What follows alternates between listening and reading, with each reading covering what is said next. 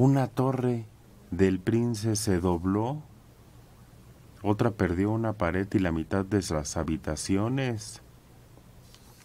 Es que es impresionante lo que va a costar eso, lo que va a tardar. La zona de hoteles es un paisaje apocalíptico. La destrucción es enorme. Daños incalculables. Hay automóviles severamente dañados de gente que ni es de Acapulco, que había llegado en su automóvil.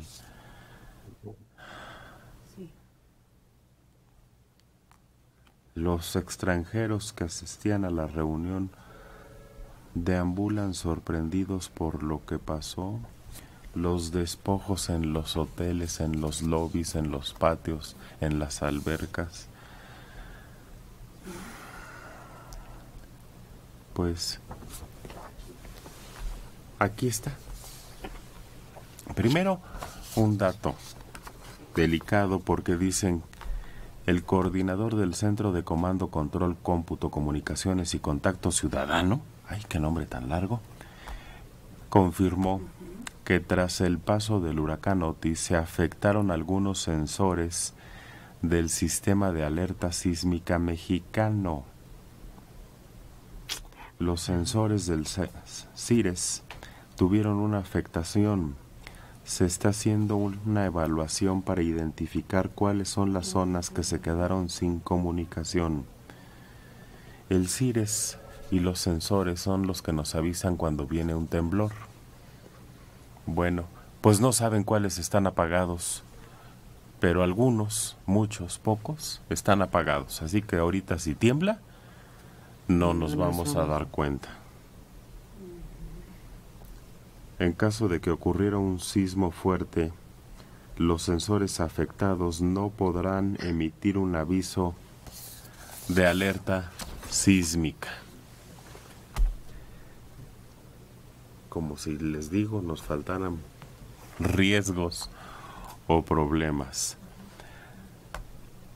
16 pacientes que se encontraban internados en el IMSS de Vicente Guerrero, ubicado en Acapulco, en el momento que llegó el huracán Otis, fallecieron.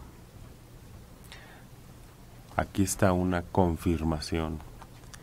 De acuerdo con los médicos que se encontraban de guardia, la clínica se quedó sin energía eléctrica y los enfermos no pudieron recibir atención médica. Tanto los pacientes como los familiares que se encontraban en el centro médico vivieron un calvario, tomaban de la mano a sus enfermos y rogaban a Dios que pasara pronto. Hay imágenes de hospitales y de ese mismo donde se puede apreciar a los enfermos en camillas por los pasillos, tratando de ocultarse del fuerte viento y las ráfagas dentro del hospital. El director del Instituto Mexicano del Seguro Social, Zoé Robledo, dijo que atenderá la emergencia en los hospitales de Guerrero, pero él no ha mencionado o ha aclarado esto que se está diciendo por parte de los médicos de 16 personas que fallecieron porque no arrancó la planta de energía eléctrica de emergencia. La cobertura de la reserva de efectivo y los seguros para desastres se han mantenido intactos el subsecretario de Hacienda aseguró que existe el Fonden y tiene 18 mil millones de pesos. El gobierno federal activó ayer el bono para catástrofes, también el cual ofrece una cobertura de hasta 485 millones de dólares y se activa según el nivel de severidad en casos de huracanes y terremotos. pues además hay coberturas de aseguramiento patrimonial para reponer a la brevedad toda la estructura que se dañó. Ahora los recursos se transfieren a los ejecutores Es decir, ahora se le va a transferir a la Secretaría de Defensa Nacional si activa el plan DN3 para realizar actividades de auxilio a la población. Pues, que si hay dinero, que sí va a haber dinero para los daños que ocurrieron. ¿De dónde agarrar para arreglar Acapulco? Noé Osorio, lamentables sus puntos de vista. Qué lástima. ¿Y por qué no nos dice qué es lo que no le parece? ¿Qué es lo lamentable?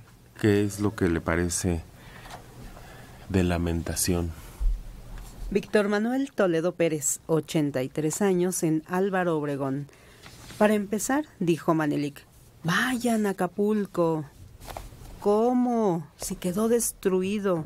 El huracán dejó en ruinas todo. Ojalá que los migrantes se vayan para allá. De seguro va a haber mucho trabajo.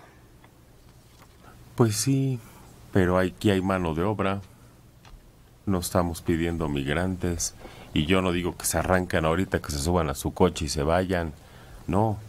Por eso dije, una vez que las carreteras estén abiertas, una vez que los hoteles inicien pues su trabajo normal, hay que ir. Acapulco solo vive del turismo. Solo del turismo. Es su única entrada.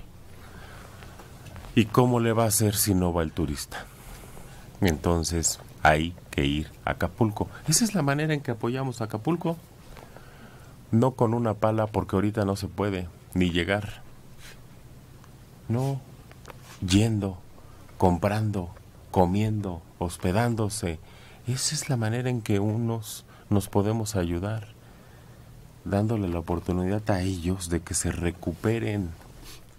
Pero, pues ahora claro que es, o debería ser lógico, que cuando se pueda, no ahorita, inmediatamente, y probablemente ni siquiera este fin de semana, pero yo garantizo, porque así ha sucedido con esos puertos turísticos, les surge volver a arrancar y que la gente vuelva a ir.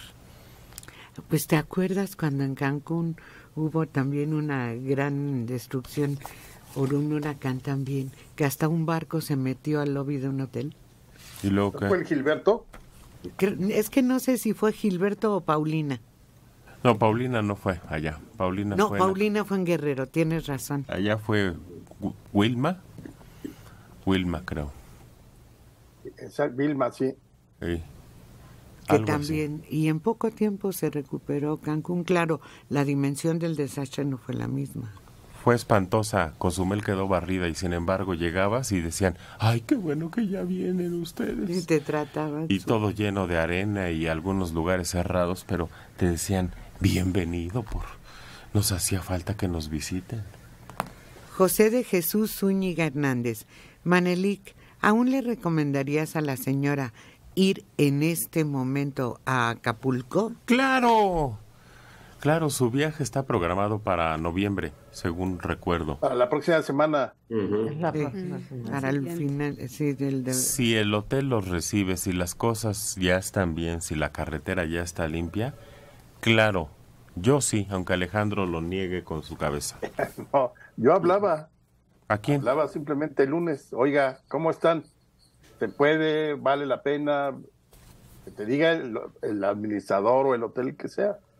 Pues sí. Yo no creo que en una semana ni siquiera terminen de escombrar, como se dice. Vamos a ver, vamos a Fíjate, ver. iba a haber el 10, 11 y 12 un aeroshow. Estaba viendo la cuenta de la gobernadora y iba a haber ahí un evento de estos de aviones que hacen acrobacias y todo. Yo creo que se va a cancelar.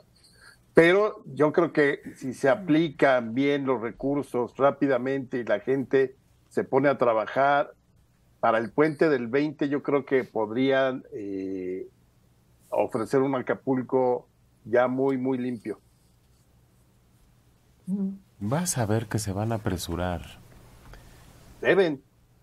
Lo principal es que funcione, mira, el aeropuerto y la carretera. Y eso no va a tardar. No va a tardar más de tres, cuatro días. En que lo dejen al centavo, o debería de ser así, que lo dejen al centavo. Oye, es que hay un puente importante en noviembre, el del 20 de noviembre. Ya los dijimos, hay otro antes. Hay otro antes porque el Día de Muertos cae jueves 2, creo. Sí. Entonces a los muchachos les queda jueves, viernes, sábado, domingo. En el Estado de México, ¿eh? Aquí no. Ah, bueno, sí, de último momento lo dicen, pero no está considerado. El, el 3 está considerado laboral. Ajá, vamos, vamos. vamos.